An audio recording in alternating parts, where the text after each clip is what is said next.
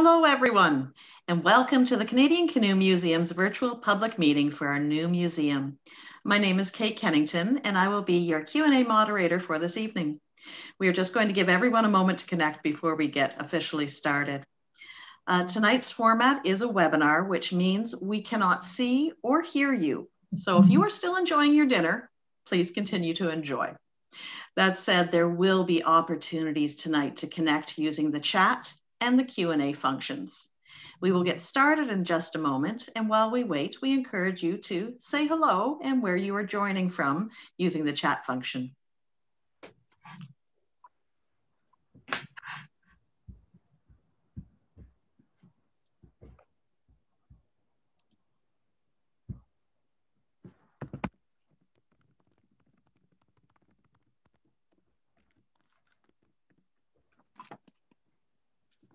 Ah, wonderful to see people from so many places. Welcome all. So we do have a few housekeeping notes before we begin. You will notice that the automated closed captioning is on for accessibility. If you'd like to turn it off for yourself, please click the CC button and then select Hide Subtitles. Throughout the presentation, please feel free to use the chat function. Usually this is found at the bottom or side of your screen to share your comments, feedback, and connect with one another. We also have a team member, Cindy, here to help and support and answer any basic questions in the chat. There are a lot of people who have joined us this evening, and we do ask that you use kindness and respect in your comments. You can submit questions at any time throughout the presentation by using the Q&A button at the bottom or side of your screen. These will be grouped together and asked at the end of the presentation during the Q&A panel. As you can see on the screen, our schedule for the evening includes a presentation that will take about an hour and will cover our journey and vision, the exhibits, the construction process, sharing the site plan and renderings, and our project schedule. We will then open it up for questions and we will have project partners, board directors, and consultants joining our speakers to answer your questions for the remaining 40 minutes. We will try to get as many as we can. Please note that we will be prioritizing questions that relate to rezoning, things such as traffic, environment, site plan, and land use, as that is the focus for this evening. And now I would like to pass the microphone over to Carolyn Hyslop, Executive, Executive Director of the Canadian Canoe Museum, to introduce the rest of our speakers for this evening and formally begin the presentation. Thank you, Kate. Wonderful to see everybody, hear everybody, and figuring out where they're signing in from. Thank you so much for joining us. We're really excited to share our plans for the new museum um, on the water here in Peterborough and excited to get started. So in order to begin in the right way, I'd like to begin with our acknowledgement. The Canadian Canoe Museum respectfully acknowledges that we are situated on the Treaty 20 Michi-Saagiig traditional territory covered by the Williams Treaty First Nations. The museum recognizes as well the contributions of Métis, Inuit, and Indigenous peoples in shaping this community and this country as a whole.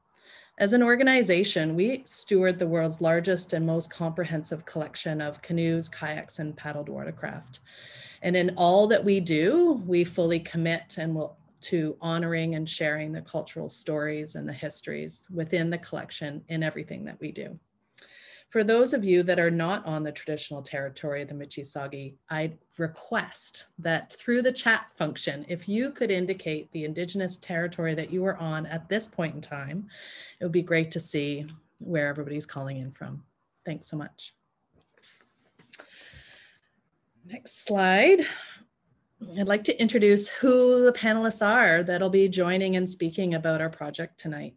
So you've got myself, Carolyn Hyslop, Executive Director here at the Canadian Canoe Museum. Our chair of the board, Victoria Grant. Hello, Vicki. She is here with us as well. Bill Lett, the managing principal of Lett Architects, and Jeremy Ward, the curator of the Canadian Canoe Museum working behind the scenes to make sure this webinar goes off without any issues. We have our host, Rochella Giordano. We have running the Q&A, you already heard from Kate Kennington. And then running the chat function is Cindy Mytruck. And then there's a number of other panelists that you're going to meet during the Q&A section, and we'll introduce you to those folks later on. So it is my honor to turn this over to Vicki Grant, our chair, to get us started and share the journey that we've been on for the last year or so. Vicki? Thank you. Um, wow, it has been some something um, quite significant this past year. Um, and we have uh, had our work cut out for us and we've been had some ups and downs and we've just been um, putting our head down and getting getting looking for what how and how we would move forward. Um, I want to thank all of our um, all of you for coming tonight. That's really quite something um, to see the number of people who are joining the call. And um, it is, uh, you know, it's funny as I think about where we've been and how we've, uh, on, as we talk about this being a journey and how you can move forward, um, but yet you need you think you have all your plans laid out and, and you th think that these things are going to be okay. But there's a bigger plan for us up there sometimes and, and we don't we end up in places where we we didn't know we would end up. And i think in some cases that's the that's the transition the board and the canoe museum and all of us have been on. Um, you know, when I think of last year, this time, um, well, actually earlier than right now, it was early March when we started to, um, when the COVID, pan, uh, you know, the pandemic hit us and um, it changed everybody's plans, everybody in the country, and we were all affected differently. But in some ways, there's good things that happened. And I don't think that if we were doing this public meeting in Peterborough, we'd have 278 people on the call at six o'clock. That's in, in a room anywhere. So I, I see good and bad and, and all of this stuff. And um, so we, as a result of all of this, we were hoping to have the shovel in the ground at the lift, lift lock site. But um, when COVID hit, we shut down the campaign and project do, you know, because of that. Um, and then in May, the discovery, of, we announced the discovery of the contaminated groundwater on the um, lift lock site from the neighboring property. That was a big shock to all of us, but um, we we had to take the time. We we had we did take the time to really think about how what the effect and what we how we would move forward. Um, and it it you know we we we i guess what i would say is i as i watched our board our team and the people that we've worked with engage there was never a time where we would have said there isn't going to be a canoe museum. And the hardest decision was to, to know that that site was no longer feasible, that we couldn't move forward there. And once we made that decision, it was there were the canoe still needed a home. We, we still needed a site. And I can't thank the board enough for the work I can't thank Carolyn and her team for their commitment and to bring us to this place we are today. So enjoy your evening because you're you're in for um, a, a, treat. There's there's some really neat stuff happening, and um, I really hope that you will enjoy the the uh, evening and uh, ask lots of questions. So thank you and. I'll turn it over to Carolyn. Thank you, Vicki. Um, yeah, it has been quite the journey. And in looking, when the board made that decision that that site was no longer viable for our project, um, we began that search for an alternative location. And we were guided through that entire process by the museum's values and our project goals, which were ultimately to create a new home for 100% of this collection that we care for in a safe and accessible building. We needed to make sure that we were on the water, ideally on the lake, so that we could offer more on water canoeing and kayaking programs to the community and the visiting public we wanted to make sure that we had a site that actually could be developed in the in the timing and the schedule that we needed, which was to be shovel in the ground by the by fall of this year. And then we also needed a site that could meet our budget and that we could develop on the property in such a way that would, you know, um, address the new realities that we are all living in as we're still going through this pandemic. And so we have fortunately landed at a beautiful property that does all of this. We've assembled a team that I am proud to say is meeting all these requirements. And we're on a path um, to validating what we can do um, on this property. And so in January, we began that, that process of validating our project.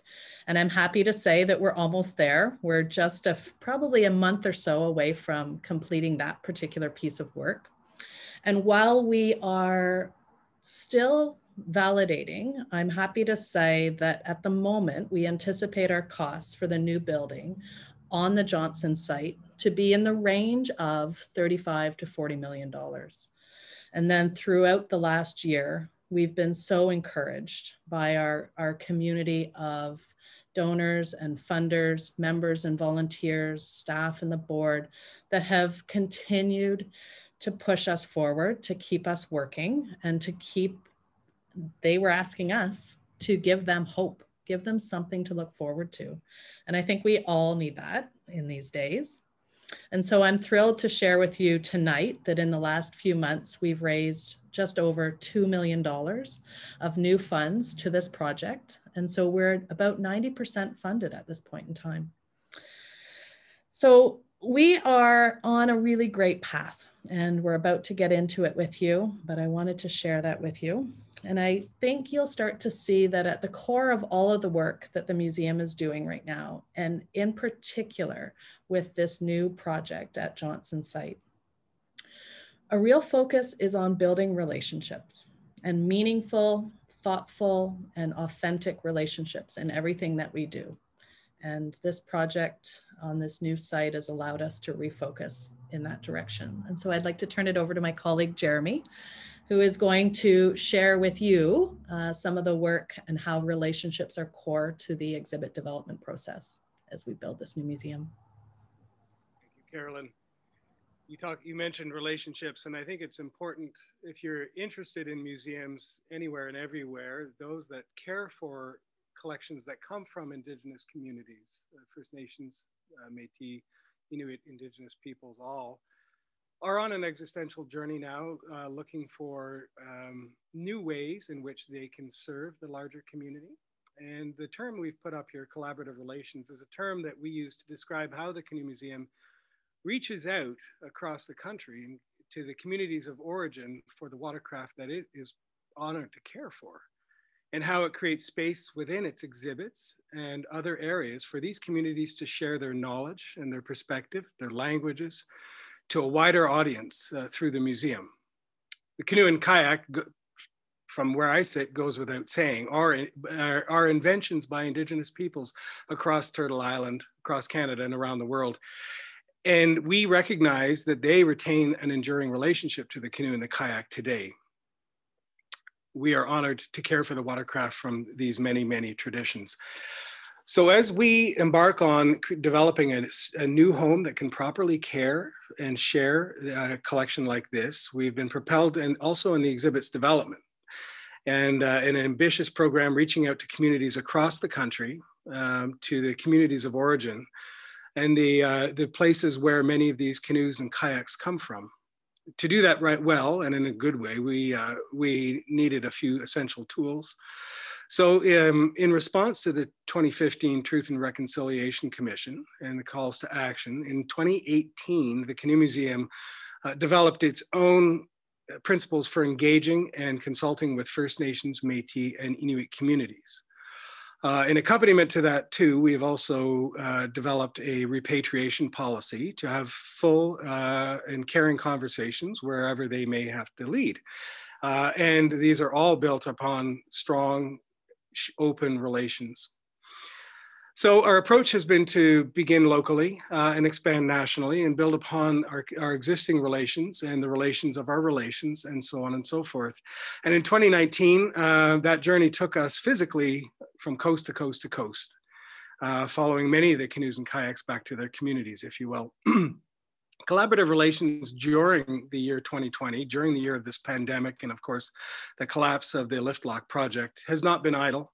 I'm happy to say. Uh, and in fact, uh, as we've shifted to working online, uh, a lot of these relationships have grown uh, and, and expanded in, in, in good ways and caring ways. And in fact, we've developed some new relationships during this period of time as well towards exhibit development and understanding how to care for a collection like the one we do. So our approach, our, our engagement strategy uh, for the exhibit development with each community supports the recruiting and hiring of community coordinators in their own community to stay safely uh, in community, to work with their own elders, their knowledge holders, their community research protocols, their language speakers, uh, and to develop uh, with us the exhibits that we will share the stories uh, that, that surround a, an artifact collection like this. And so all of this work is governed by uh, research agreements that, that are being co-developed with these communities and that respect uh, these communities' relations to the ownership, the control, the access, and possession of this community knowledge, of course. And speaking of possession of knowledge, it's important to point out that um, all of the work through the exhibit development will be archived in the communities that we work with or wherever they choose to to designate where this the, these uh, materials are going to be kept. I'll take the, uh, the next slide, if you please.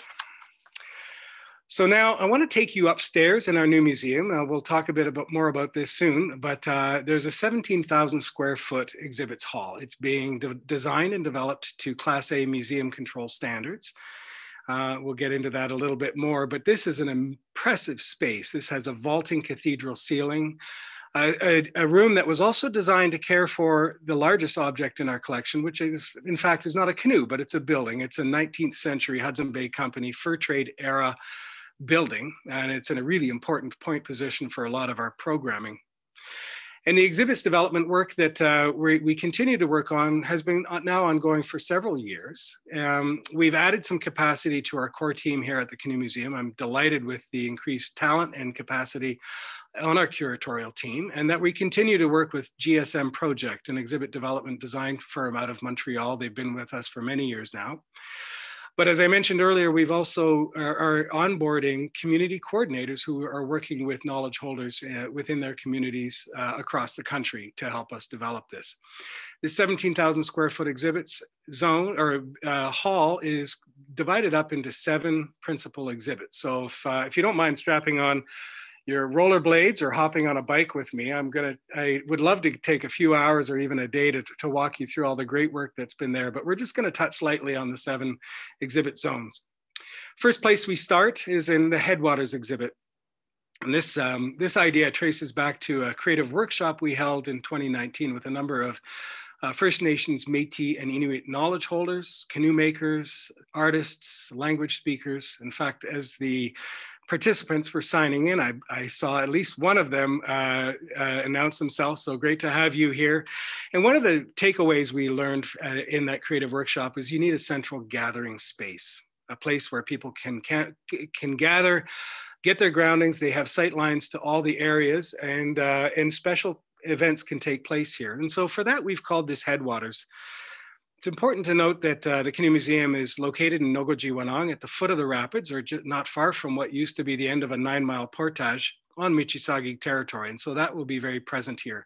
But another important theme that you'll encounter here is water.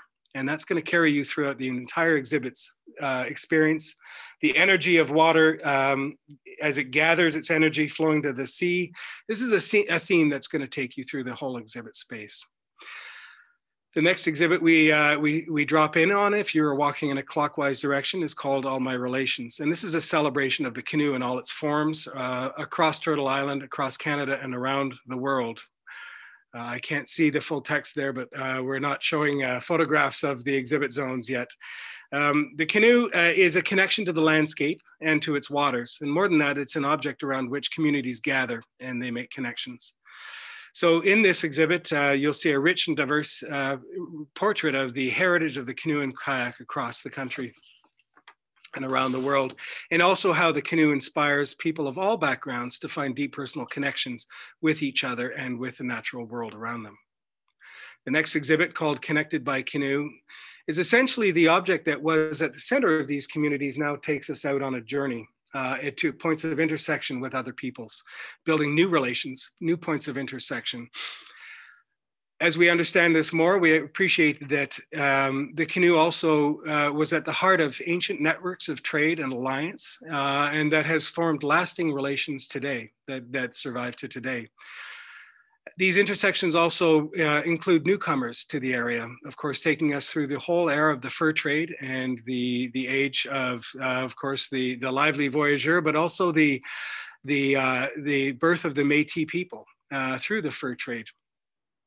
Uh, who have their own um, iconic connections with the canoe, especially in Ontario, but uh, right across the country. The canoe also brings us to some difficult times in colonial history, and we are creating space for different perspectives on these points of intersection at different periods in, in our own history. The next exhibit zone is design, ingenuity, and the maker. And this is really where we deconstruct the object itself to get deeper meanings from it. Because the canoe, at, at, at, its heart, the canoe and the kayak are very simple ideas, essentially small boats pointed at both ends, paddled or propelled facing forward, if you will.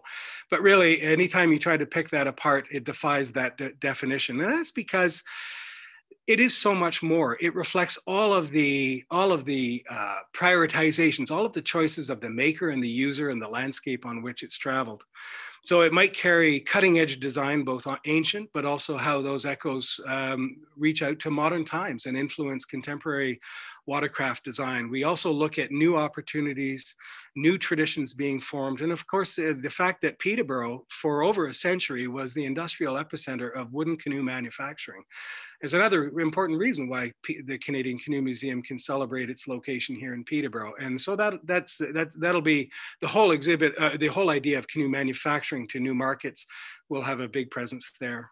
The next exhibit, Pushing the Limits, explores the idea that the canoe can cause us to do incredible things where we learn to push our own limits uh, and we can also learn of our own strength.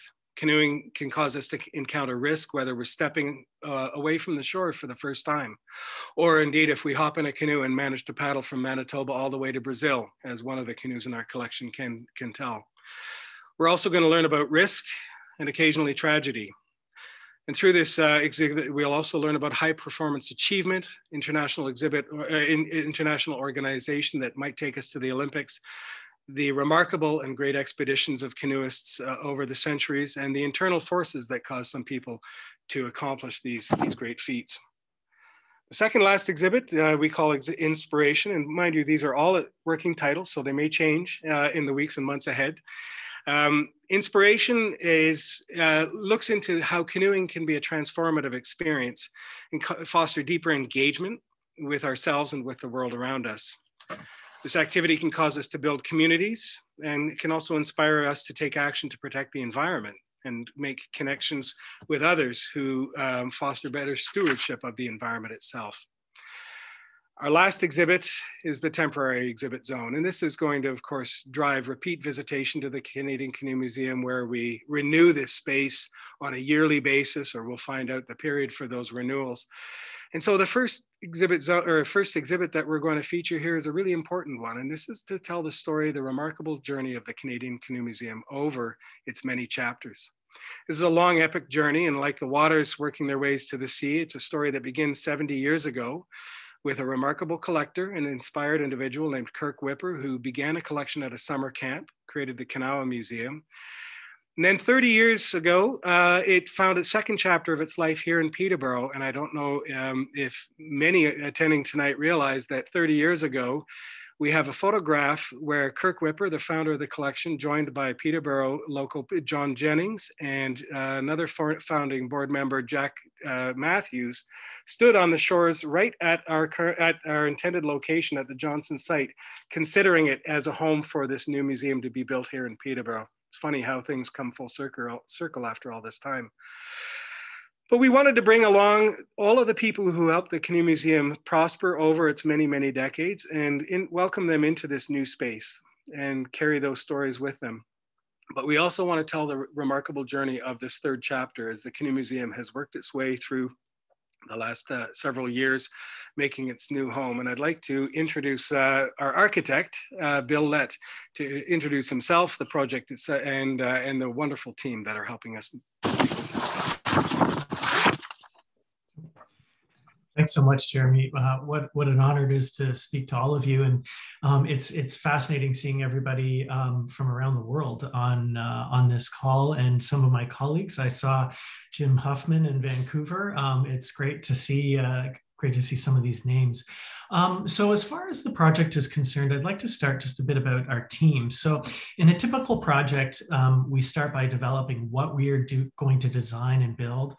And typically that only involves the owner and the architect. Later, we look at the how and the who, adding players as we go. Um, it's interesting that the who uh, that are going to actually construct the project don't usually have any involvement in the how of their work, um, let alone the what. And uh, so this project is utilizing integrated project delivery, and things look very different in this process. We talk about what we're going to build, how we're going to build it, and who is going to build it. Um, from the very beginning of the project. And that's critical because we have all the stakeholders um, uh, on board right from the start of the project. Uh, so that makes this this type of approach fundamentally different than than a typical approach that we might take in construction. Um, the early engagement of trade partners, uh, designers, owners, contractors, um, provides the opportunity for a much deeper level of, uh, of collaboration. Um, so we've started to build our team in integrated project delivery. The team continues to build all the way uh, through the process. Carolyn mentioned validation. We have um, implementation, which is next. So we're really starting at the beginning here. We're, we're 16 weeks into, into the design, but we have a series of project advisors that you can see on your screen. Um, and then on the integrated project delivery team, uh, Lett Architects, uh, here in Peterborough. We're the architects of record on the project. Um, the builders, the general contractors, Chandos Construction. Um, I should point out that Chandos is named for Chandos Lake. Um, the, uh, the two founders uh, both grew up in the area and, uh, and named their business after the lake. Uh, we have um, a series of consultants on board um, and trade partners as well. And the trade partners are key team players that we felt we needed on the team right away. Um, and you'll see that there's also some local involvement um, from team members um, such as our electrical trade partner, Lancer Electric, our landscape architects. Um, so it's really nice to, uh, to be able to bring that local content into the project as well. And, and I'll speak a bit more about um, that um, in the fact that it's a priority of the project to generate local economic impact as much as possible. So we're developing a plan um, uh, to prioritize this now, and we'll include lo lo uh, further local subtrades and labor as we as we move the project along. One uh, one element of this that I can tell you about um, is that we uh, um, have reached out to uh, to Fleming College to to look at involvement of the trade college at Fleming is in this project, as well as to a local general general contractor, Mortlock Construction, that could help with this project as well. And that's one of the benefits of the integrated model is that um, is that we can bring in these partnerships at various stages of the project. And and and, and I can't tell you how excited I am about uh, about being able to do that. But let's let's move on and uh, let's talk about the site. Um, so the site is um, uh, on uh, the east side of Little Lake in East City. Um, it's framed by the uh, Parks Canada headquarters to the north, Ashburnham Drive to the east, Whitlock Creek to the south, and Little Lake to the west. Um, the Trent Severn Lock 20 is to the northwest, um, although it's hidden under that happy family. Uh, and um, uh, that provides connections to the downtown uh, through Rogers Cove and over the pedestrian bridge. So working from a macro level to a micro level, the whole site wants to be about the visitor experience, whether that be moving through the site actively, visiting the museum, or coming for programming and education. The goal is to fundamentally engage the visitor with the experience, um, with, with an experience that's framed in the natural environment and speaks to the collection and craftsmanship, um, whether or not they're coming into the museum. As we develop the design, um, we're taking a multidisciplinary approach to um, crime prevention that uses the site, architectural design, and the management of the built natural environment into consideration. The goal is to enhance what currently is great about this site. Part of this will be the fulfillment of the Little Lake Master Plan that will see the trail network circle Little Lake, connecting this site to the downtown, both to the north as an existing condition and to the south, as is planned um, in the master plan. It will also provide broader active transportation and connectivity to various trail systems, such as the Rotary Trail and the Trans Canada Trail. And that's really important. And I know Carolyn's going to speak a bit more about that, but that connectivity between these trail systems is really critical. So let's move to the next slide. Um, during construction, um, the trail and park area will remain open for public use. As you can see from this site plan, only the area in red will be closed for construction, allowing access on the Trans-Canada Trail as well. Um, for safety, this zone will have fencing and be secured, but it's important that the, the connectivity, the active transportation is, uh, is still maintained on the site during construction. And so with that, I'll hand it off to Carolyn now to speak about the natural heritage. Thank you, Bill. Um, as an organization that values stewardship and sustainability, we are a canoe museum after all.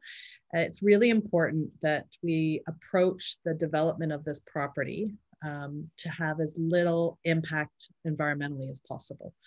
And thankfully, we have a project team that shares those values, which is really important to us. And so I just want to I want to focus on three significant elements of our approach to the site that'll that'll illustrate where we're coming from and what our and what our intention is as we're thinking about how this site's going to be used over time.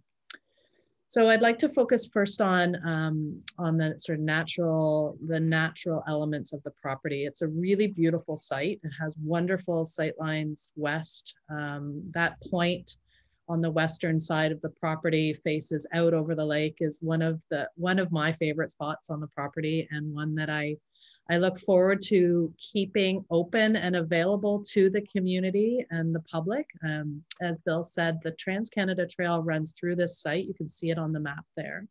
And it's really important for us that that is open and accessible all the time and that we work to really engage the people that are using that trail on the property in in bigger capacities than what there is now um, so we're imagining that that the trail and the open park space around the trail remains exactly as it is today, if not enhanced through more trees and shrubs being planted. We also see that that trail connects itself through a formal pathway or a portage from, um, from the Trans-Canada Trail on the lakeside all the way over to Ashburnham. So if you're riding your bike or, or walking and you need to get from Ashburnham down to the lake because you're commuting to work, we want you to go through the property in order to do that. The um, the project is is an integrated project, and we have a lot of really invested uh, partners on this project so far. And so, working with our project partners, Orca, the City of Peter, Orca being the conservation authority for those that aren't local, um, the city of Peterborough, with our landscape team, um, with the local First Nations communities, the Michi-Saagiig communities, as well as the Métis community, we've been developing, um, we want to develop a master plan for the site. And this master plan will focus on rehabilitation and restoration of the natural world that exists there. And so we have this wonderful opportunity to actually enhance the site through our ownership and through the stewardship activities that we want to put in place.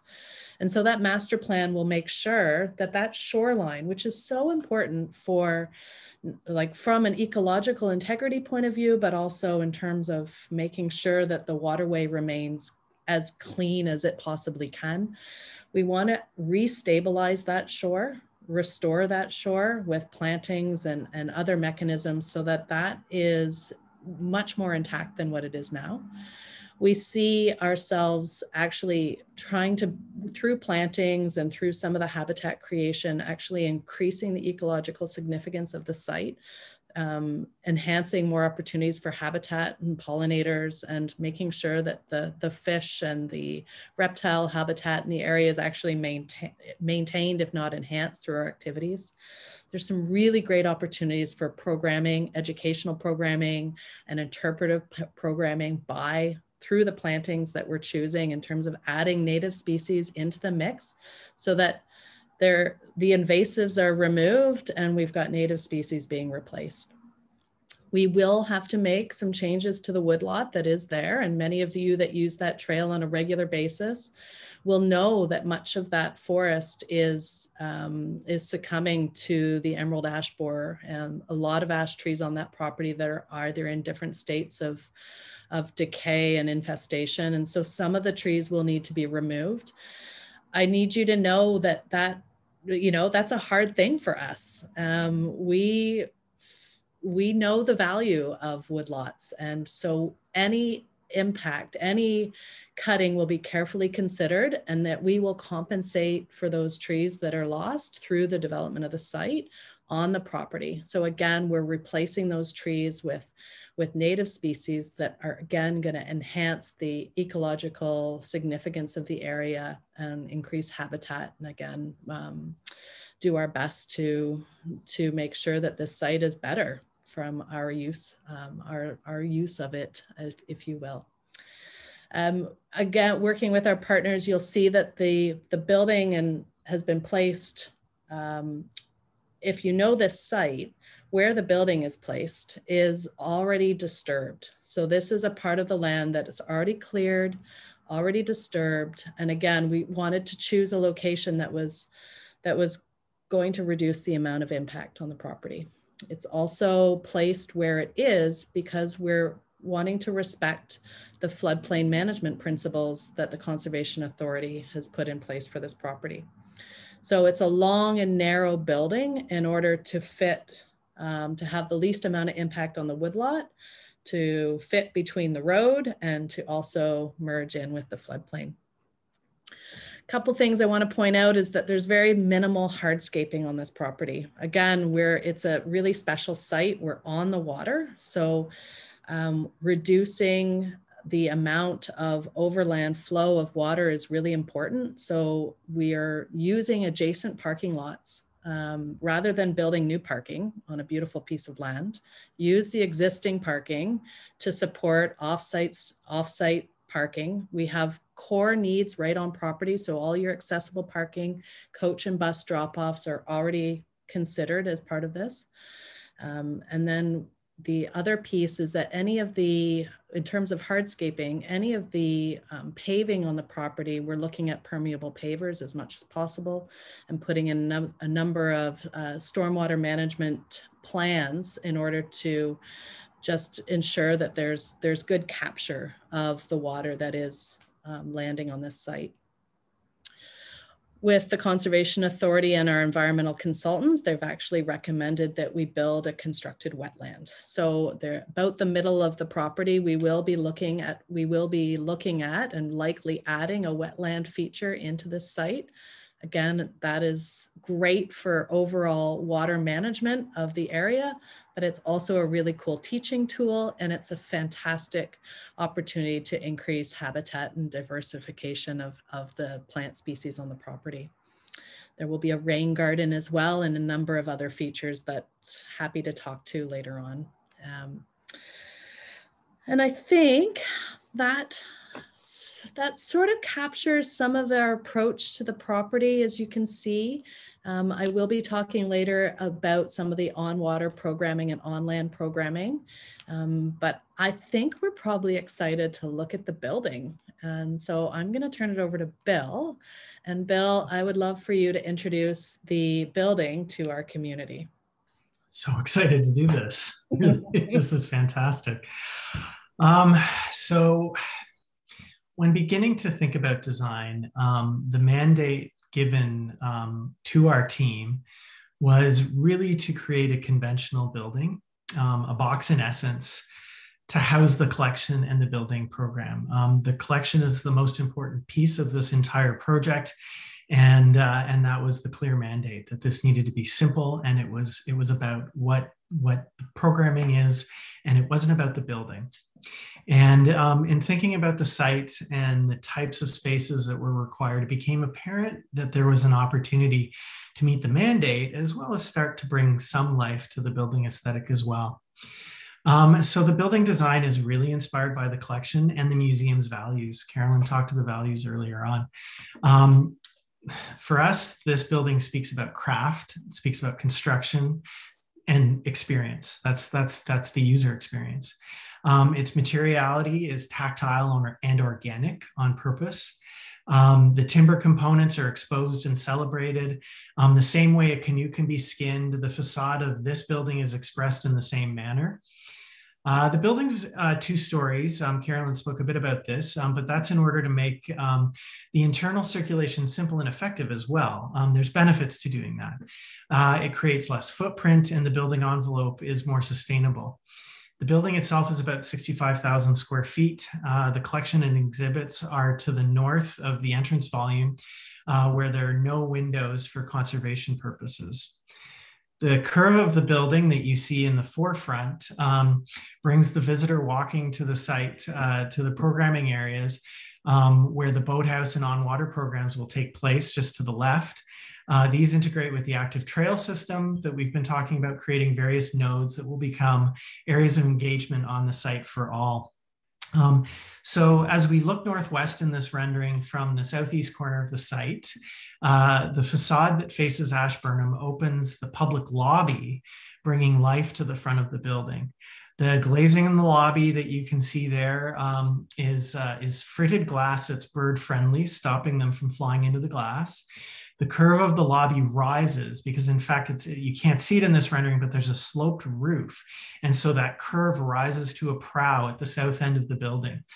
Beyond the mass of that is the the fireplace rises above the roof and a similar volume defines the entrance portal at the front. You can see the black volume coming up through and that's the main entrance to the building.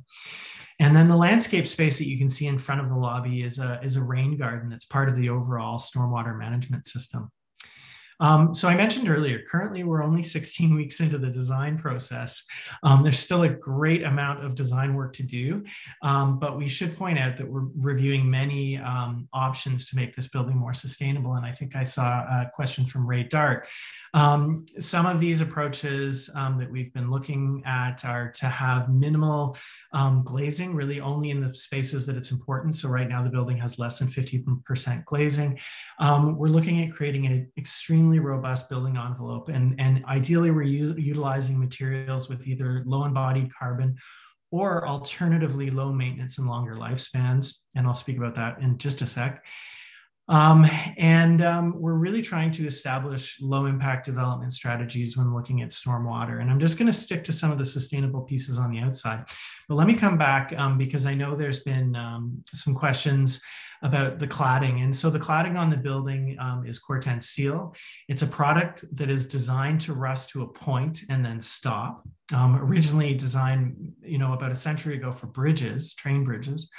Um, locally, for any of you in the Peterborough area, you'll recognize Corten on the Ashburnham Ale House in East City. Uh, so Corten steel does have a high embodied carbon.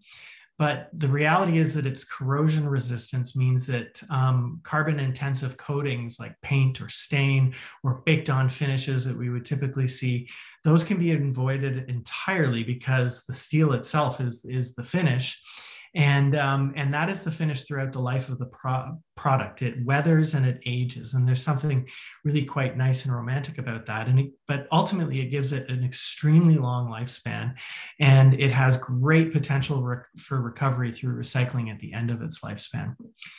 Um, so let's uh, let's move inside. I'm going to go through the main entrance portal. Um, so once we've come through that, uh, the, the main entrance, Uh, once inside, the main lobby space is warm and inviting. It's uh, constructed of cross laminated timber. Um, cross laminated timber offers high strength and structural simplicity, uh, as well as significantly smaller in, um, embodied carbon than concrete or steel.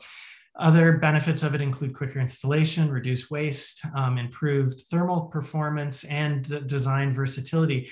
Um, and as architects, we love it for its aesthetic as well. There's something really quite biophilic and lovely about it. Um, so the purpose of this double height space that you see is to visually connect the visitor to the various program areas of the building. Um, the intent is that you can you can see all the spaces that you want to go to. And um, so in this in this particular rendering, you can see the reception is, is right in front of you. There's a cafe space spilling throughout the lobby. Um, the fireplace that I mentioned, you can just see the flames over the top of the reception desk there um, at the apex of the curve facing Little Lake.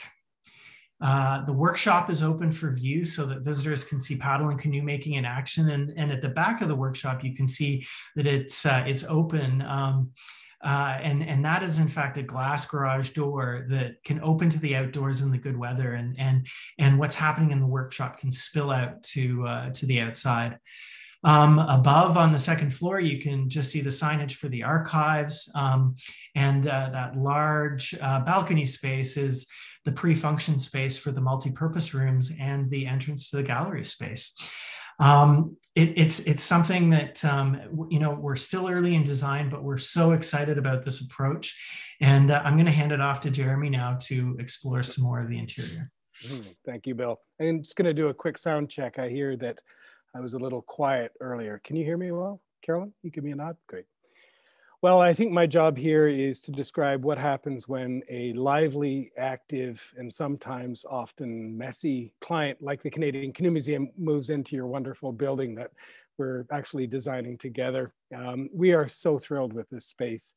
And uh, there's so much thinking that's going on here. But when you walk into this place, authentic experience not contrived is really is really front and foremost. As, as bill mentioned you, you're going to see you're going to see programming right in front of you all this great learning space but you're going to smell you're going to smell cedar coming out of the steam box as we're bending ribs over a canoe uh, canoe building mold. You'll see paddles being carved canoes and kayaks being dragged outside onto the sawhorses as the workshop carries on on its fourth day beautiful opportunities now because there's a campground just next to us. So we can run these long courses and people can do it, uh, whether in a camper or in a hotel or in a tent. Uh, so we've brought that experience right up front and foremost. Um, down past the cafe, down past the reception, well, that is a really important point position for our volunteers. Some of you know that we have well over 160, closer to 180 volunteers active uh, locally, regionally, and nationally. But the front desk is such an important position, and that's our, our, that's how you're greeted and received and cared for here at the Canoe Museum by our wonderful community. There's an elevator tucked away right there. You don't see it in this rendering, of course, but this building is accessible throughout. And uh, it's it's important to note too on the east side of the lake as you take the uh, the Great Trail of Canada, uh, formerly the Trans Canada Trail, there isn't a spot to grab a good Americano or latte. And, uh, and we'll be providing that with this cafe. This really becomes a, a wonderful community hub uh, as you as you make your way around the lake, we'll be offering light food and, and, and meals. The other opportunity this place that is terrific is this is an incredible auxiliary rental space. And can you imagine the, the rental opportunities and gatherings we can have as we open this up after hours for special events? We'll put away the chisels and tools in the workshop, clean the uh, clean the wet paint off the uh, off the work surfaces, and uh, and throw some nice linen down and, and host a great event in that space as well.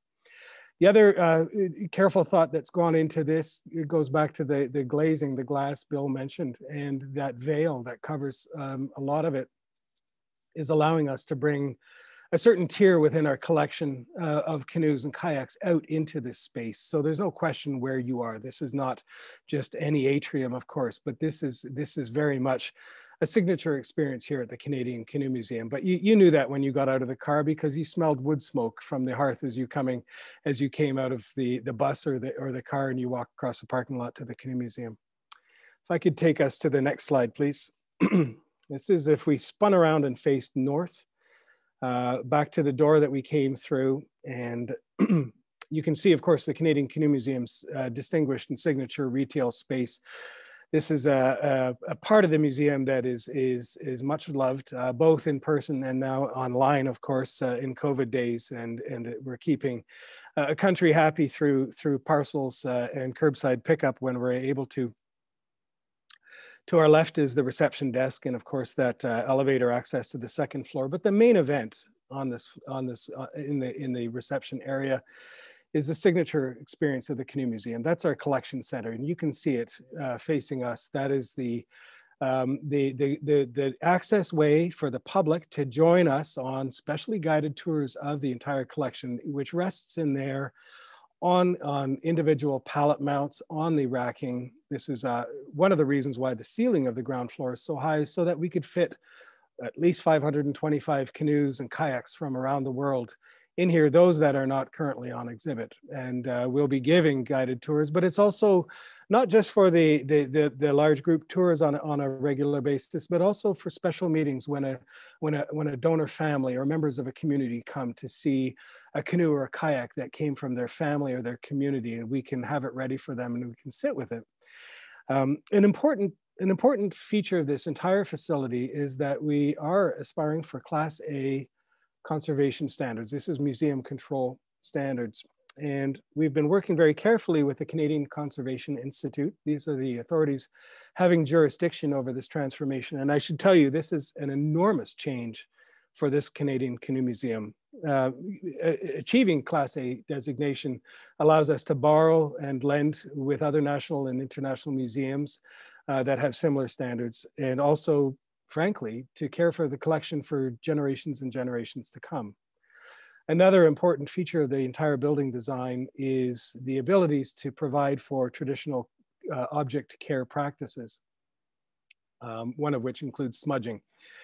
Now, when you care for a collection of, of, of, objects that are as large as canoes, and one of the canoes in our collection is 55 feet long, you can't just build a special room to take these objects to for um, smudging uh, or, or other practices with them. In fact, the entire museum has to be a special room for that to happen. And so we are, the, our IPD team, our integrated project delivery team and our mechanical team have been working really hard with us to create systems that can, can manage that. And the, the Canadian Conservation Institute, I'm thrilled to say, are with us, as is our conservation consultant, Mike Harrington. I see he's here tonight, working very carefully with us to make sure that this building meets all of those, um, all of those objectives.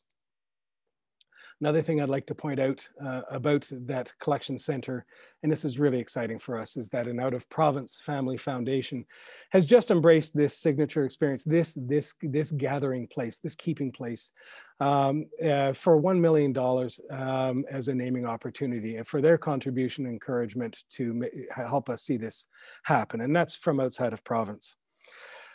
Something that's different when you see this in real life is that the signage and wayfinding, right now you can see collection center, you can see artisan workshop. Well, that's only in English. And in fact, it'll be trilingual. Um, this will, all of the signage and wayfinding in our museum will be in English, French, and in Michi-Saagiig Anishinaabemowin.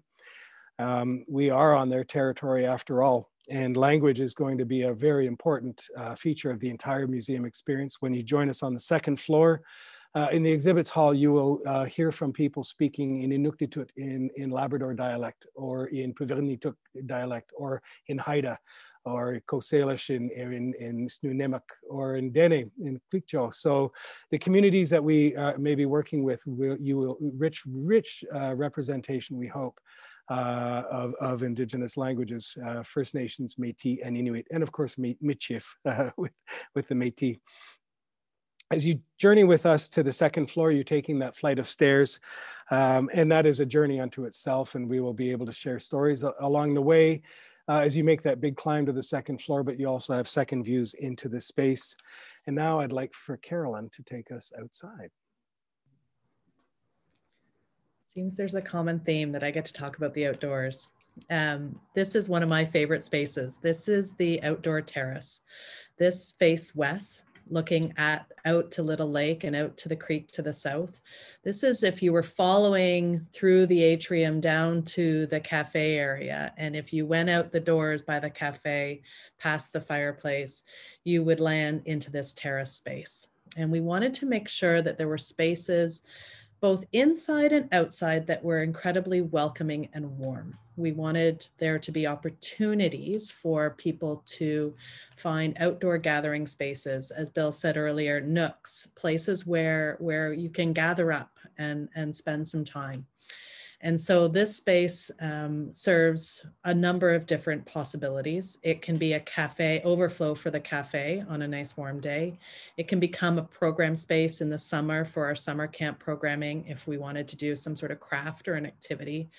It's an opportunity for a group to rent it as part of an, a, an event that they want to host, host outdoors. It's also just a hangout spot for people just to gather and and to visit with friends and we're all craving that right now and uh, and can imagine what that might look like in a year's time when we're able to do so maybe sooner I want to point out that in the background, you're looking at a building that we're calling our canoe house. And so this is the building that will house our canoes, our kayaks, all of our program fleet. Um, it will act as the hub for on-water activities that the Canoe Museum is running. It's also a wonderful point position for um, any of our outdoor experiential programs that'll be happening on the land side of the Canoe Museum's programs. So this will be a great spot for um, um, let's let's imagine a school bus arriving with a with a pile of kids, and they're going to spend half their day inside the building, um, up in the in the education room on the second floor, doing their soapstone or their paddle making, and then the second part of their day they're going to be outside, and we're going to get them onto the water and we want to put them into a 36 foot long Voyageur canoe and paddle through the local area and talk about all kinds of great stuff that's where that's going to happen. If it's a motor coach arriving from Toronto with, with tourists, they can also get into that same canoe and go for a canoe tour up and visit the lift lock, ride up the lift lock, come back down and come back to the canoe museum to finish up their experience. It's also a possibility for um, skills courses to be run. So an ORCA course where people are learning canoe and kayak skills or canoe tripping courses or a wilderness first aid course can be run out of that particular building. It's also a great spot for canoe rental or demonstration. So when we want to do a community paddling night and bring out some of the demo craft from our collection so people can experience a kind of canoe that they've never been in in their whole entire life, that's where that's going to happen. Um, and I think the connectivity between having the, the canoe house down by the water, obviously that makes sense, but also that there's a portage trail or a, or a boardwalk that connects that boathouse, that canoe house back up to the museum, down to the Trans Canada Trail, and ultimately to the shore. There will be docks, floating docks, and right now we're focusing very much on getting ourselves moved to this location. We're going to build some some intelligence over years uh, as to where those docks need to go. Right now, we're imagining them for the first, right now, we're imagining them um, to be on the creek side of the property rather than out at the point. But we will probably figure out whether that works or not over time, and we can move them around as they are floating docks. So these will be places where people can paddle across the lake or down from the cottage or up the creek, up the creeks, um, land their canoe and kayak at the floating canoe docks, bring them up on shore, put them on racks and come into the canoe museum or come grab a coffee. You don't need to pay admission to come in to use the the the public spaces, the cafe or or the or the atrium area. So this will all be open and accessible community spot. Um, I think there's also some really great potential, and I just want to paint the picture of outdoor festivals along that Trans Canada Trail section. And again, the Canoe House will serve as a as a support space for that. So I can imagine canoe festivals like a canoe rendezvous where we've got a number of different demonstrations. We've got different um, retailers putting their, their canoes and kayaks um, out on display and people can take them out onto the water for, for demonstrations and, and skills courses. So that is what we're thinking in terms of that outdoor space and, and again, connectivity and, and building community through the, this beautiful waterfront location.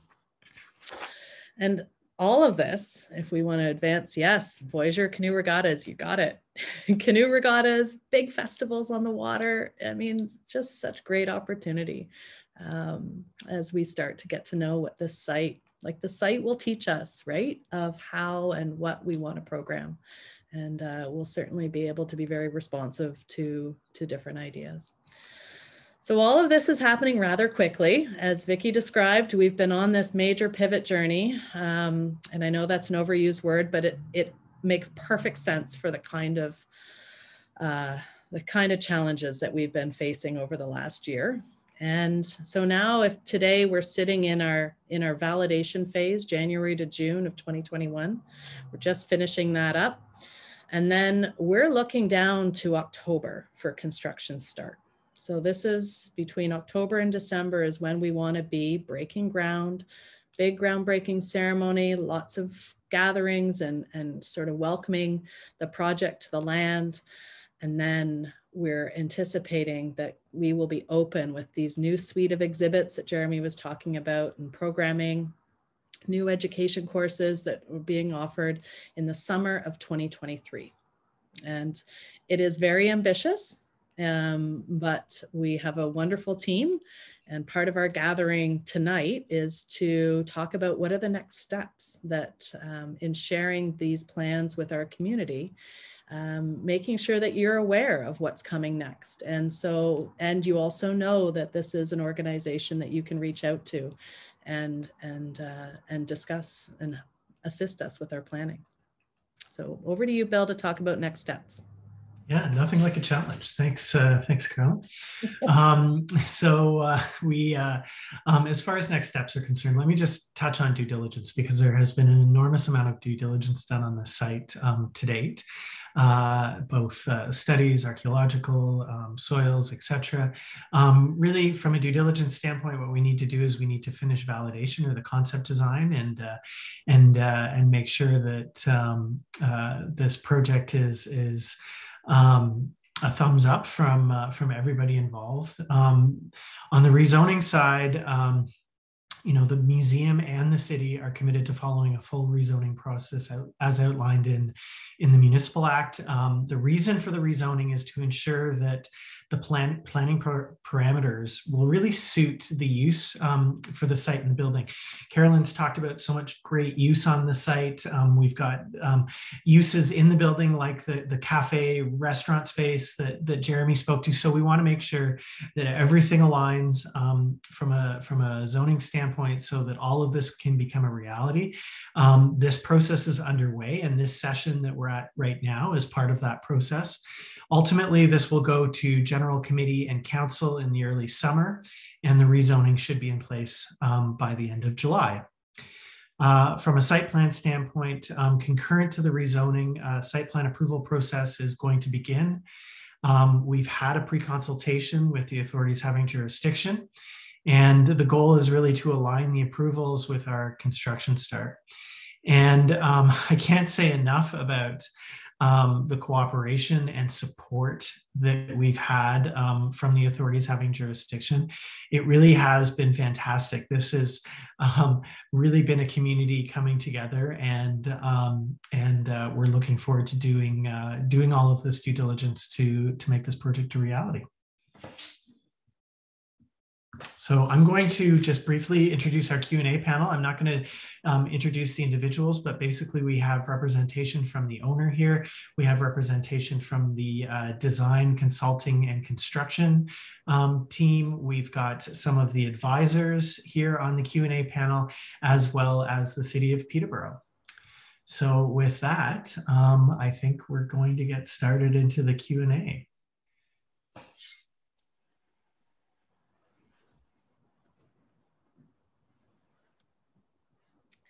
Okay. Well, we've had quite a number of uh, questions coming in tonight, which is just tremendous. And uh, just a reminder that we will be prioritizing questions that relate to the rezoning. Um, so uh, Carolyn and Bill, we've had a couple of, uh, your names have been mentioned specifically, a couple of questions coming in about the planned environmental and sustainability features of the building itself, um, whether there'll be a LEED standard and just, you know, how green will the building be? Want me to go, Carolyn? um, so I think we're still. The answer is um, that we're still exploring that, and I hope um, I hope I was able to to outline some of that um, while I was describing it. Um, you know, certainly we're we're we have um, looked at lots of options, and as we're working through the concept design, we're, we're thinking about um, everything. We're doing that in the lens, obviously, of, of the conservation as well. Um, so the uh, Jeremy referred to the, the Canadian Conservation Institute. Um, they, there are certain parameters mechanically um, that we have to meet uh, for that. There's also good design principles. So for instance, I spoke to the fact that the roof has a slope to it. Uh, we're doing that on purpose. We don't want any water stored over the collection or the exhibits that's really important. So there's there's a certain give and take, and I think there's a lot more discussion to be had um, from the the standpoint of um, of the site itself. Um, I don't know, maybe Luke, if you want to talk to some of the, uh, the, the, the, the water features that we're looking at. Sure. Uh, so we've designed a number of stormwater management strategies on site um, and their purpose is to mimic or um, mitigate impacts of the development on the surrounding watershed. So these systems will control the quantity of water, the quality of water being released from the site, while also promoting infiltration on site. Uh, we've designed a number of low impact development strategies, we call them, or uh, they're also considered green strategies as well. And some of these strategies are rain gardens, infiltration trenches, um, and permeable pavers as well. And uh, their focus is to uh, again, promote infiltration and mimic sort of a natural uh, environment as much as possible on site.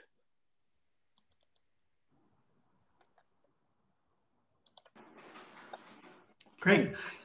So our next question, are statement wood doors made in Canada considered for the front entrance?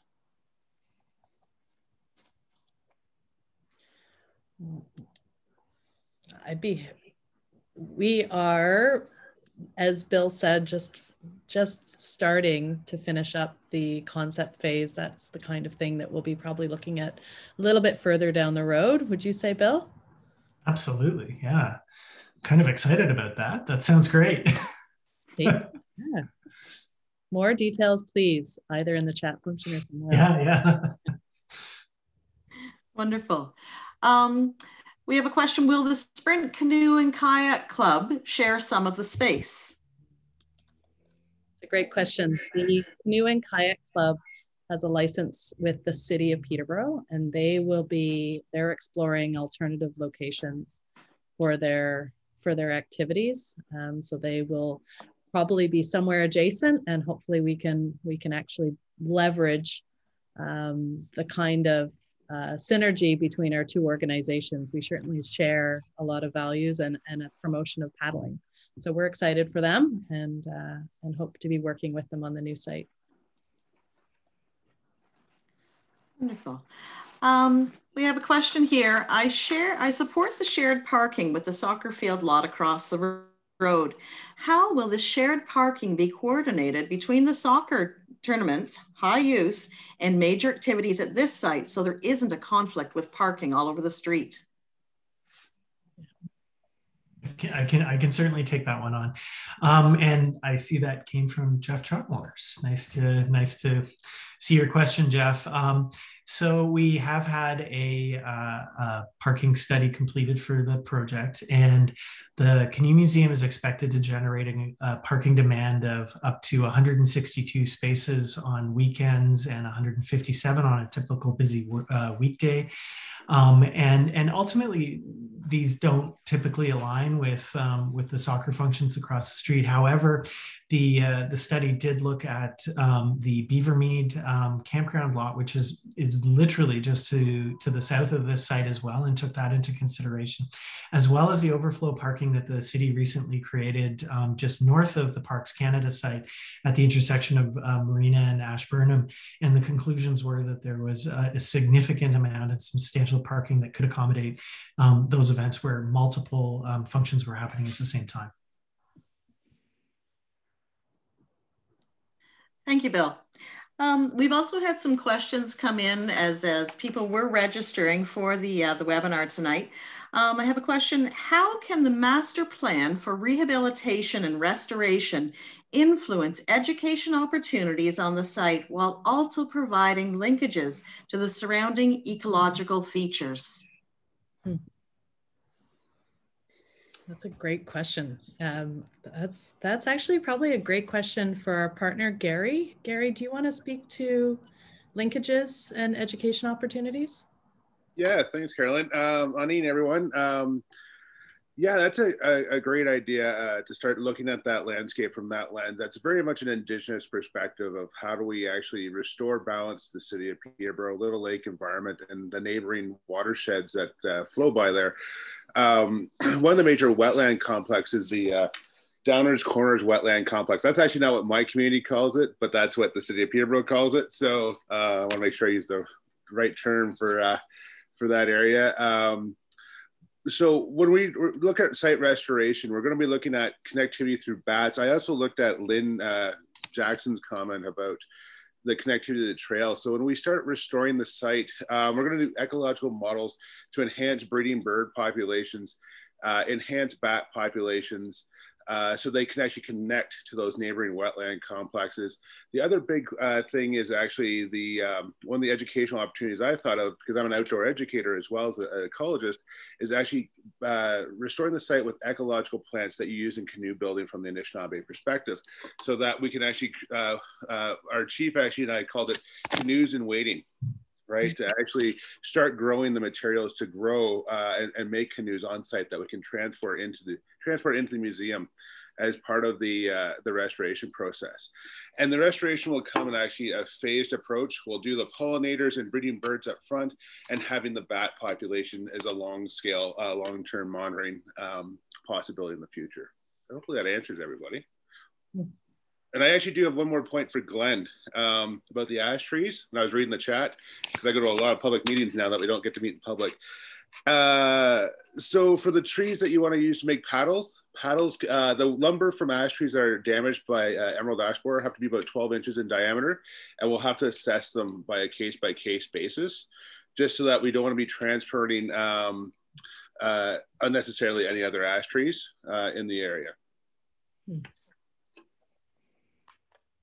That's cool. Okay. Thank you, Gary. Hmm.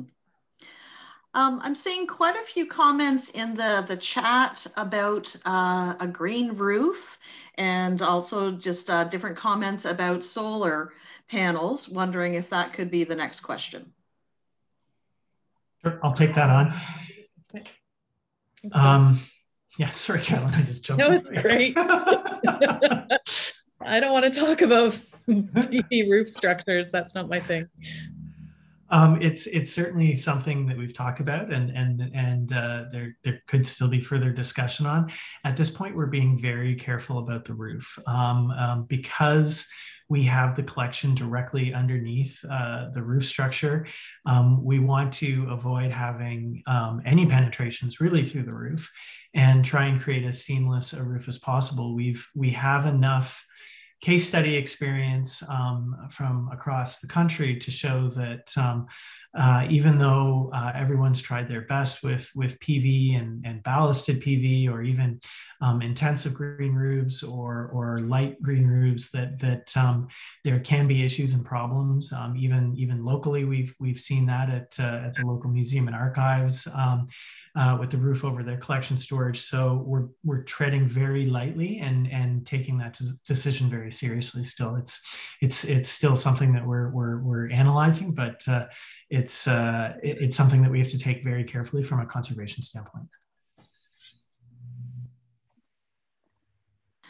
Um, we have someone who wonders if they might have missed it. What is the capital cost of the project? So the, I can answer that. Um, so the, John, you're right. Uh, I did speak about it at the beginning. The build at the Johnson site right now we're we're still validating what the project cost is going to be in the end but thinking that it's somewhere in the range of 35 to 40 million dollars at this point in time we'll be able to confirm that as we finish up the the actual the validation phase of this project. Um, and that kind of leads into we have a, a series of questions from Paul Rellinger. Uh, one of his questions is 90% of 35 to 40 million total cost is in hand. Did I hear that right? Further to that, earlier commitments from feds province intact as well as Weston donation.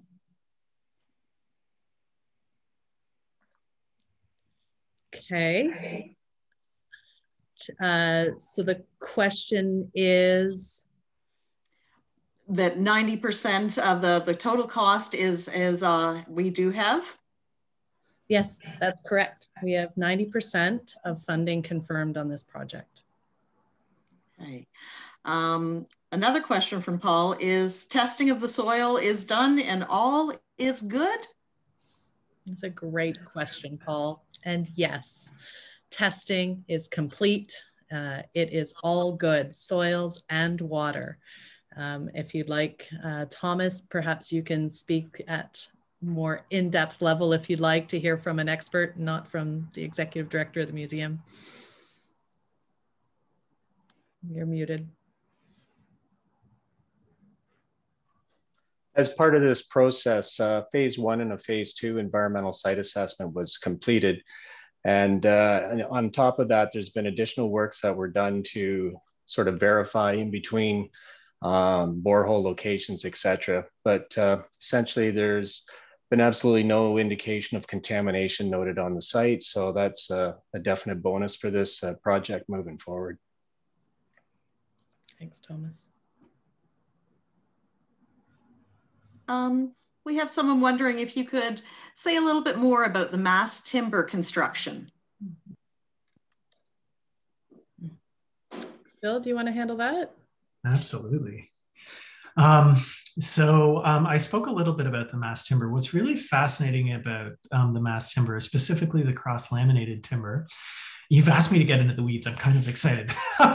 is is that um, so? Uh, one of the partners that I showed at the beginning of the project is is Nordic. They're um, uh, in Quebec, and and Nordic um, uh, has uh, 800,000 hectares of of their own forest, which they manage themselves, and um, so they sustainably harvest um, the wood. Usually, after a, a 30 year uh, gestation period, it gets milled, it gets dried, and then it literally is laminated. So um, it gets. Uh, um, it basically is, is if you picture lasagna getting made, um, the, the wood panels get sandwiched together like uh, like the pasta in a lasagna, and I think that's a good analogy, Carolyn.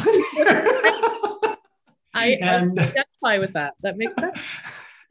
and um, and then it's um, glued using a water-based glue um, that uh, that doesn't have any VOCs, and it's baked. Um, and then it's cut using CNC machines. And the, the, the, fantastic part for us is that it comes on site um, already designed. And one of the one of the cornerstones of integrated project delivery is the use of building information modeling. So everything is designed um, and and the, the cross-laminated timbers are actually manufactured off-site and they're just brought in and, and craned into place and it goes together like a big Meccano set. So really excited about, uh, about that partnership. And now you're thinking about lasagna. That's awesome. Thanks, Bill. Next question. I had the opportunity to visit the Royal Alberta Museum in Edmonton and was very impressed with its small computer generated displays and dioramas with both First Nations voice and English language voices. Will these types of display be considered in the museum? Jeremy? Question. Uh, I confess I haven't seen uh, those those exhibits at the Royal Alberta. Um, we're going to be working with uh, the communities, as I mentioned, across the country, and with our exhibit designers for the format and delivery uh, means in the exhibits. But certainly, we don't imagine, nor I think do we want our, our, our communities that we're working with wanting to just see words written in three languages or, or the, the, the, different languages that are being shared, but to hear them. This is how we learn, and this is, we all have uh, a responsibility to support the endurance and um, sustenance of Indigenous languages across the country. And uh, the best way to do that is to, to engage with it through listening and repeating. And, and so, honestly, I think how that'll happen, we still need to work that out with the communities that we're working with. But I expect that you will be uh, hearing as well as reading languages, a whole number of different languages, not only in the the dominant uh, dialect, but in the ideally in the regional dialect of the communities that we're working with as well. Thanks, Jeremy.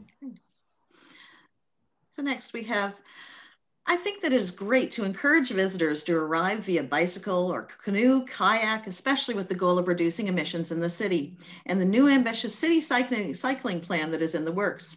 However, to encourage and facilitate people using these alternative and environmentally friendly modes of transport, I think that it will be critical to have ample lock storage for belongings available to visitors, as well as locations to pull, tie up visiting canoes, kayaks at the waterfront. Will these facilities be factored in?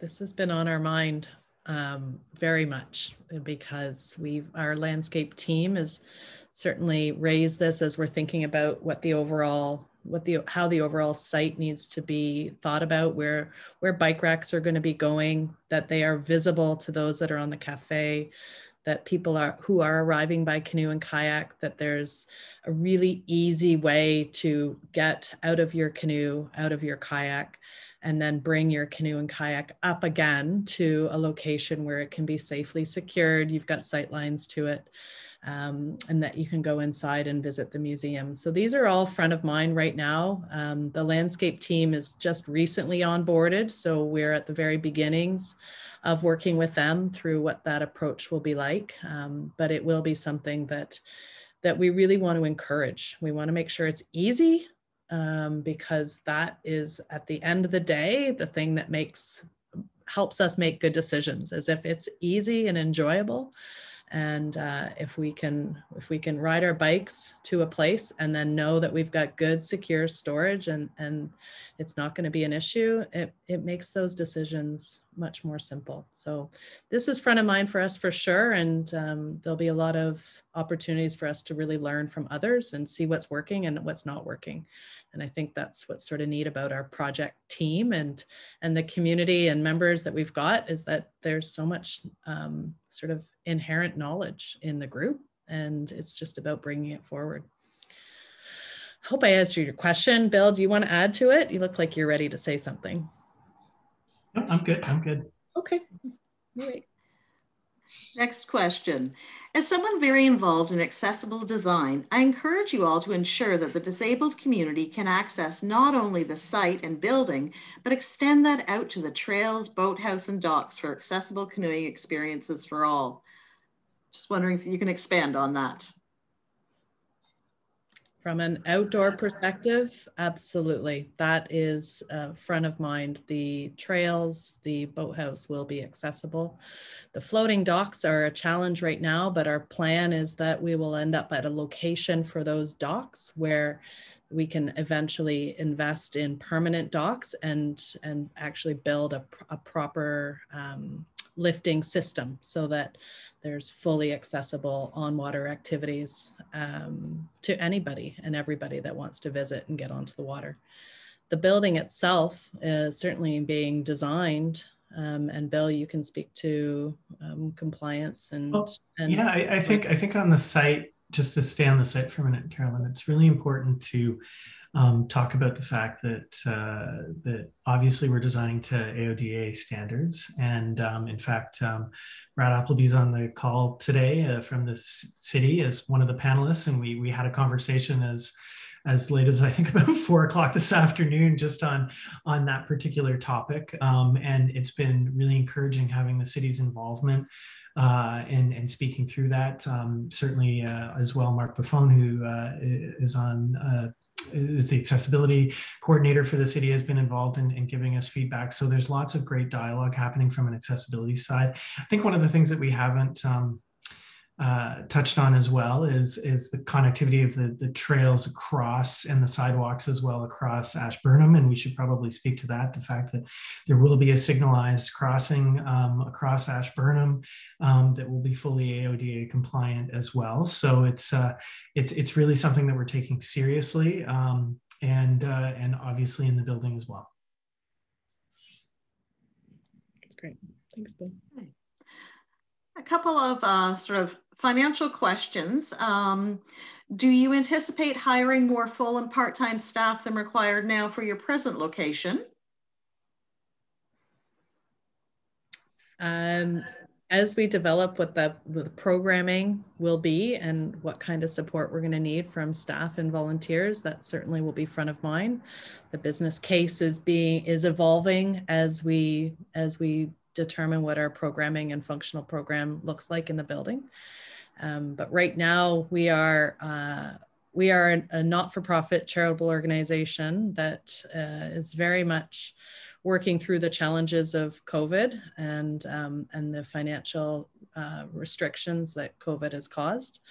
Um, and so this is something that's front of mind when we're thinking about the sustainability of this building.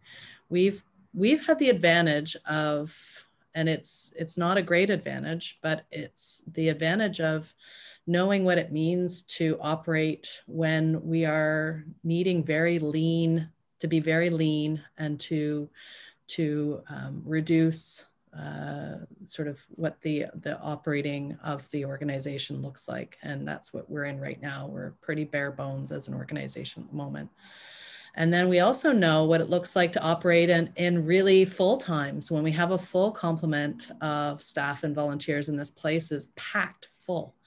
So when I look at when we've been thinking about this new museum and this building, we wanted to make sure that we could run it in both really busy and full times and also when things were super lean and needed to be super tight.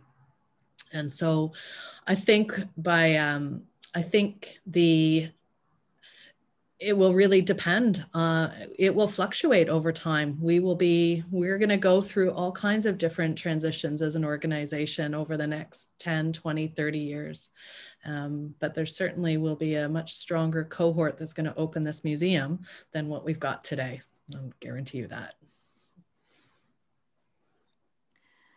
We've had a comment or a suggestion rather to take pictures of the trees from standing to final use. Just wondering if uh, could Gary comment on that?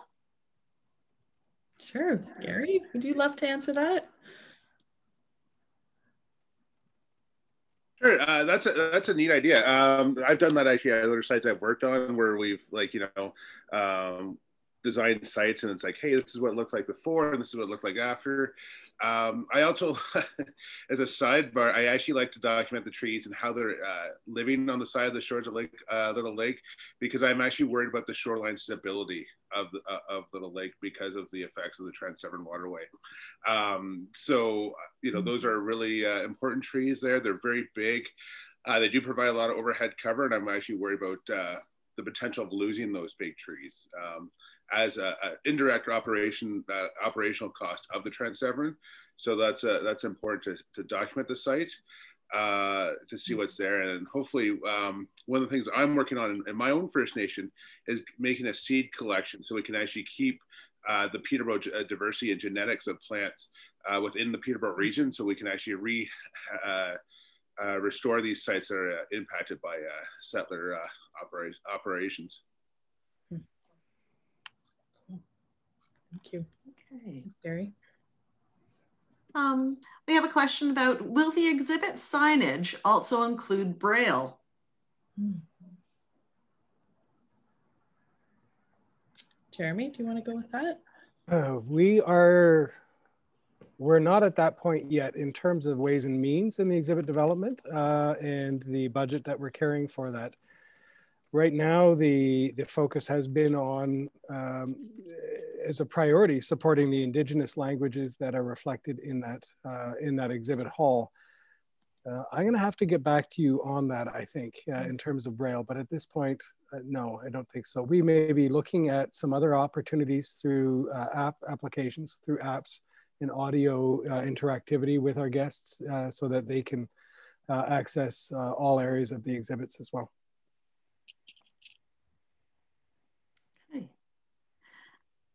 So uh, will floating docks and access ways and storage impact the shoreline? Some of the site's beauty is the natural shoreline. Hmm. I think most of the site's beauty is the natural shoreline. It's one of my favorite parts. Um, the one of the options of of starting off with floating docks is because it it does have the least impact on the shore at this point in time, and so it gives us the most opportunities to just rather than doing the kind of construction and in-water work that we need to do to put in permanent docks at this point, um, we're going to go with floating to get us started and see where where we want to invest and when we want to invest. Um, and Gary, you've unmuted yourself. Is that because I'm just looking at my group? They look, you look like you wanted to add into that. I'll agree with that. Um, I, I, always recommend uh, uh, people actually um, do fish. Uh, I call them fish-friendly docks. They're a floating dock system. They have the minimum uh, minimum impact to the bottom of the lake.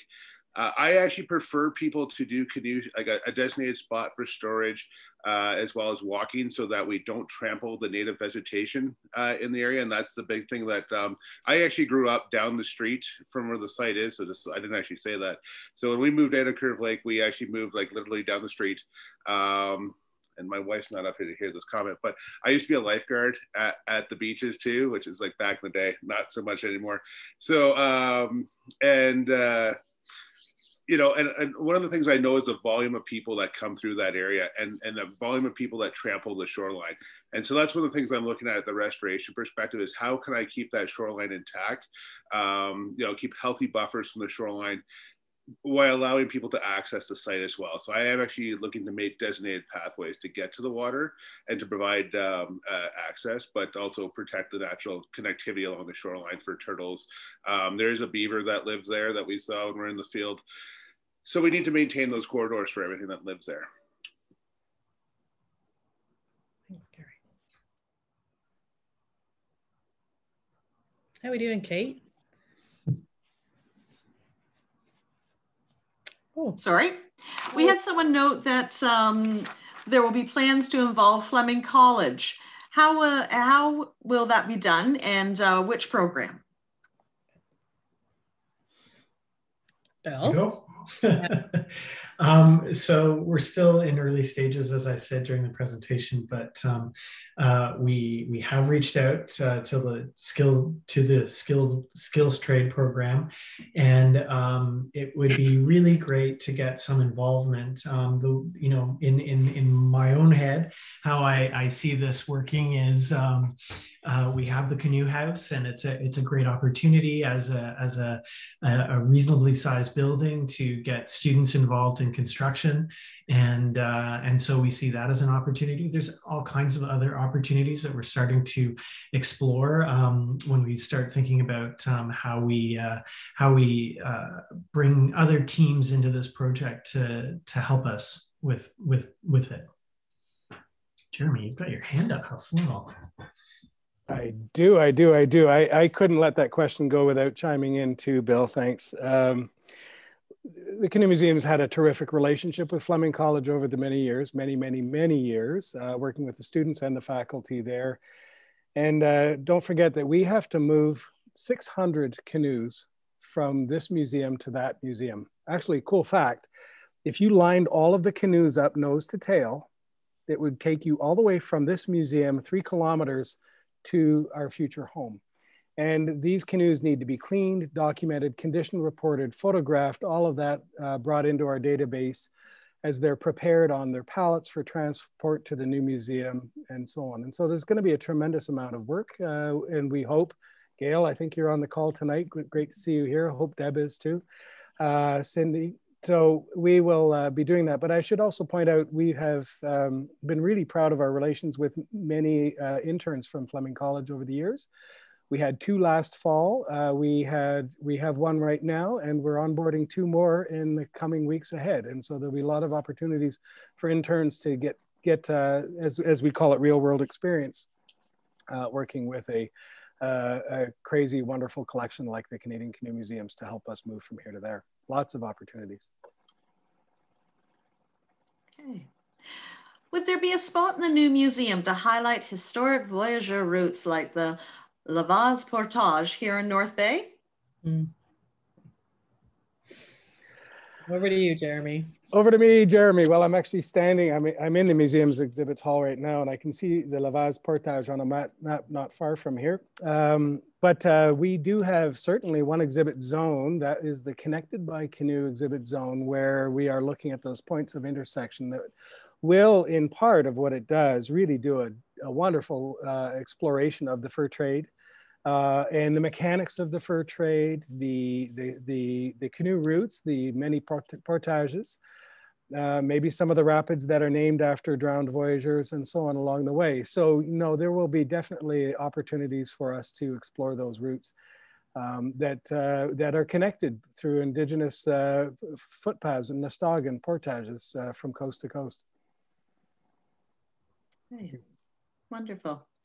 Um, what security measures are envisaged for the museum and the property?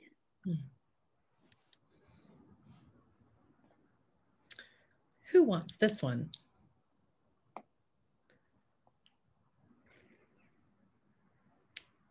Bill, do you want to speak about security or I'm happy I'm happy to start too.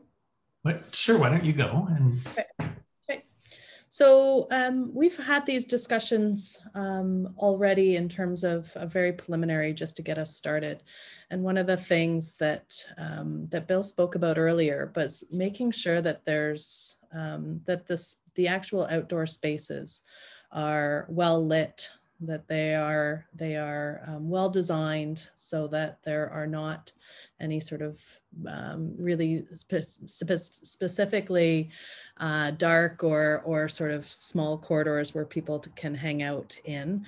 Um, we are an organization that runs generally on a shoestring, to be very honest with you, and um, and we do fundraise and earn everything that that we need to operate this organization and it and it uh, usually ends up um, we end up in a good place at the end of every year but it's always um, it's always a tight race.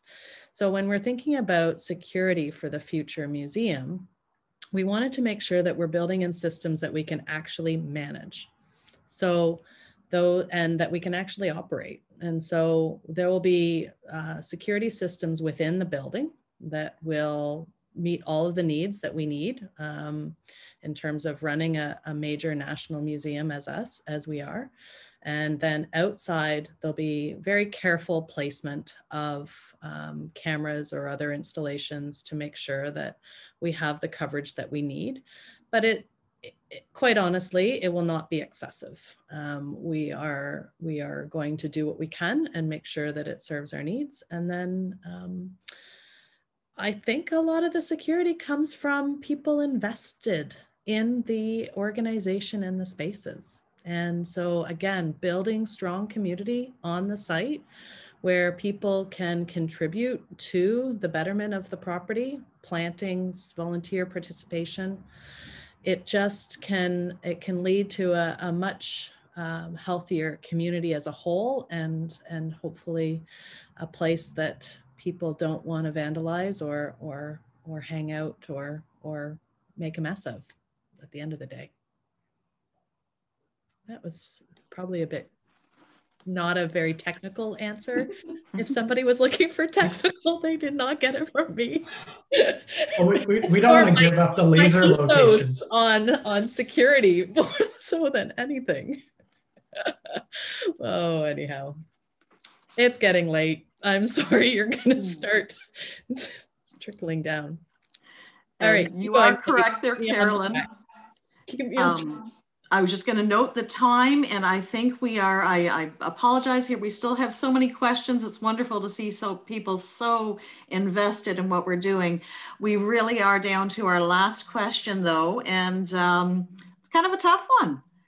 So, okay. Carolyn, Bill, Jeremy, Vicki, everyone, all of our panelists, what is the biggest challenge at this point in the development of the new museum?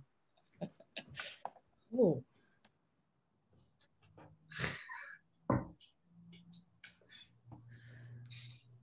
Anybody?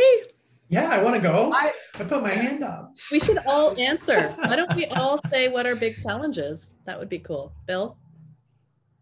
Well, I think I think it's schedule. Like I think we're all so committed to to making this happen in in in the same time frame as the previous project that I think that it's it's been a lot of fun and and and exciting to to aim for construction this fall. I think we've got an incredible team on board here. I'm just looking at all the faces.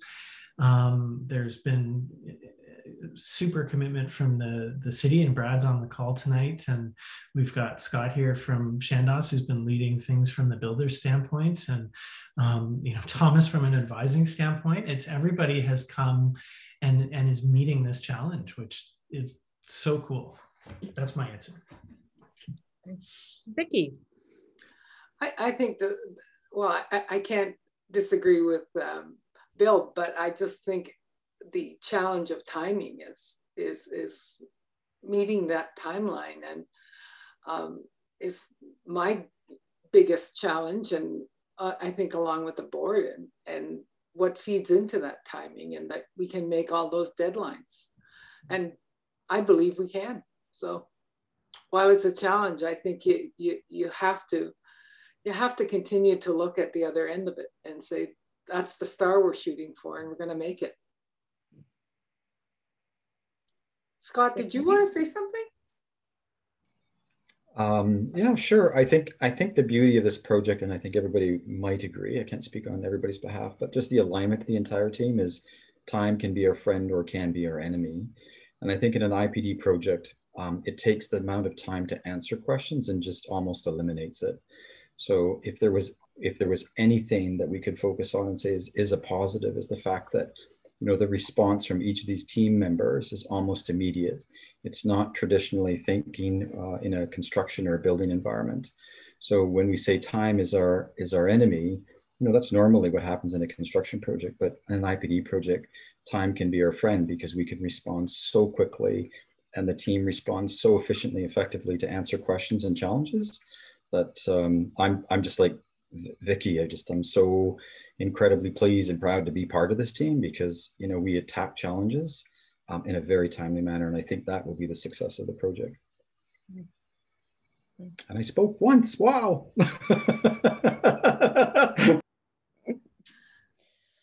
hmm. I think um, I think one of the challenges, uh, one challenge that I think uh, I struggle with is is the balance of expectations on on what we can achieve in the time and the budget that we have, and um, to what the community and to what our donors and members and ultimately ourselves that what we want out of this first round of the project. And I think there's opportunity that comes with that. I think having the constraints of the, the schedule and the scope and the budget and the, this pivot gives us this chance to just make decisions quick and do the best we can with what we have at this point in time. And to know, and this is the magic part for me, to know that we can we can we can implement more things down the road. We don't have to do it all now we get to we get to start somewhere on this site just like we've been on this property here for 25 20 plus years. We didn't have everything right when we started but we have evolved into this incredible organization over the last number of years. And i just i'm excited about where we when we leave this place and we go to our new site and then what that evolution looks like for the next 10 15 20 years. Like we don't know where that's going to go. I just trust that we've got an amazing group of people that are guiding us along the way, and it's going to be a really neat journey. And uh, I wonder if those are closing thoughts. Maybe I will turn it over to Vicki to, to close out our, our session. Thank you, Carolyn. Um, and thank you all for um, being here tonight. You've heard lots of lots of our plans and lots of what we hope to accomplish. Jeremy started by talking about the 70 year history. And I just want to say that this has been an incredible and um, just everybody who's at the table, who's been participating, always seems to come through, everything seems to come through in the, uh, through meeting our deadlines and our timelines. But it, it, the other part of it is the commitment of people around that table, the commitment to make it happen.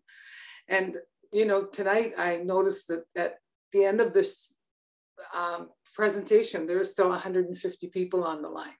I think that's pretty incredible. So this concludes our, our meeting tonight. And again, miigwech, thank you and merci. Um, thank you for coming to learn about what we have been thinking about and working towards for the last year, just about a year.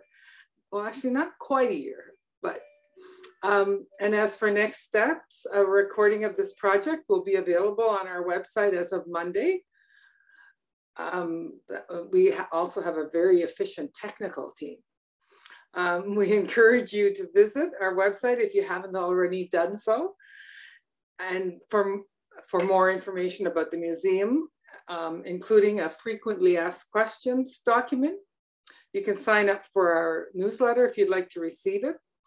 And lastly, if you're inspired and would like to contribute to our fundraising camp campaign, please get in touch with our team by email or visit the Canoe Museum um, website at canoemuseum.ca.